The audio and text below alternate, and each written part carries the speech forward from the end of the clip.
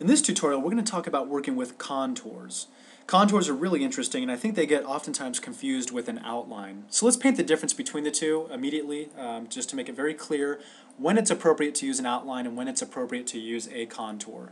So for the top uh, design here in Texas, we're going to create an outline stroke by going to the Outline Pen tool and selecting uh, point size. So we'll assign an 8-point outline to this. And with the bottom uh, part of Texas, what we're going to do is we're going to assign a contour. So notice where my mouse is hovering, we have an interactive tool menu, and we want to go to that specific tool menu. So once I left mouse click, anytime you see a tool with a black little indicator at the very bottom right hand corner, that means there's some additional features there. So make sure to explore those. So what we want to do is we want to activate the contour tool. And once you activate that tool, notice how you have all of these controls here. We have presets, um, we have the ability to contour to the center. We have the ability to contour to the uh, inside or the outside. So whatever's relative to your project. So you can see as soon as we toggled to contour to the uh, outside, you can see we had three contour steps active.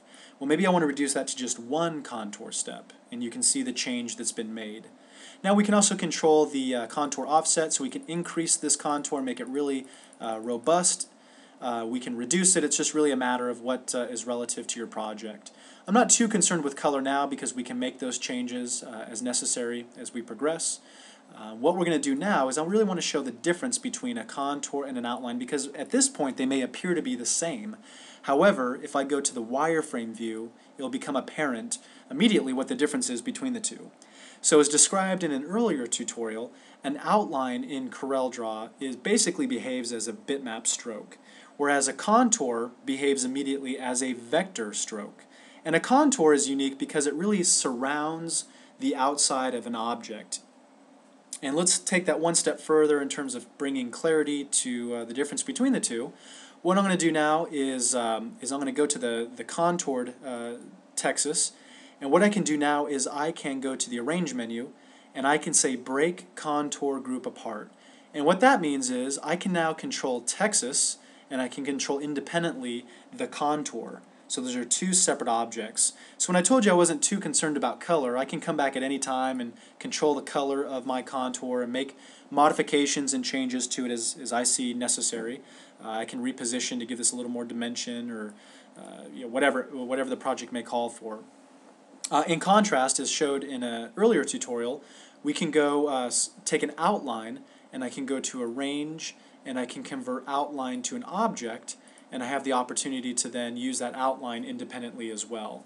So that's really the difference uh, between the two, uh, is an outline just really outlines an object, whereas a contour surrounds uh, an object. And that describes the difference between the two. Now there's some really cool ways to do effects with uh, contouring, and I should point that out now since we're in this workspace. I'm just going to click on Texas uh, and leave the contour group alone.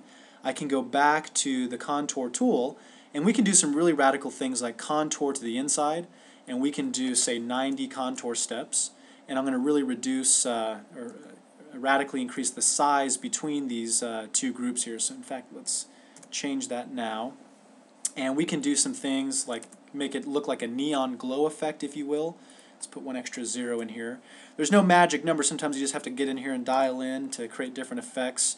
We can do different colors as well. So I might want to you know grab a different color in here. Let's just choose a blue. And if we zoom in here, you'll see how all of those those contour steps kind of give a unique little effect here. In fact, I want to ratchet this up to 90 contour effects. And you can see how we can create like a little neon glow or a little dimension. almost looks like a beveled corner or edge. So there's a lot of different ways to use these uh, the contour tools in tandem. Now, some of the other ways to use uh, contours that I don't think are as precise, uh, but nonetheless are available. If I draw a shape here, and we'll just color that red, um, I should also point this out when working with outlines. Anytime you have an object or a shape, notice how it has a black outline and then the fill. Well, to disable that black outline, you can go ahead and right mouse click on any of the X's, the sort of blank boxes where my mouse is now hovering, above your color palette. And as soon as I right mouse click on one of those, do you see how it just automatically removes the outline? That can be pretty important. So go back to our contour tool and we can go back and what I have the opportunity to do is I can actually click on my object and assign an interactive contour. Let's go back to a different color here.